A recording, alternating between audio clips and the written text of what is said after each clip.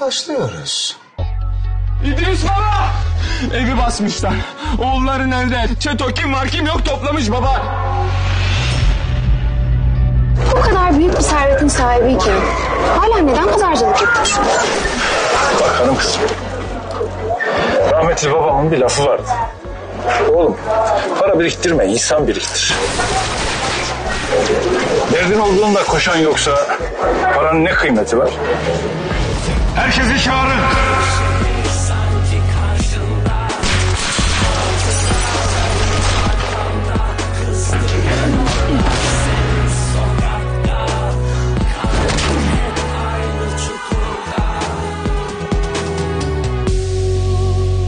Çukur yeni bölümüyle pazartesi akşamı Show TV'de.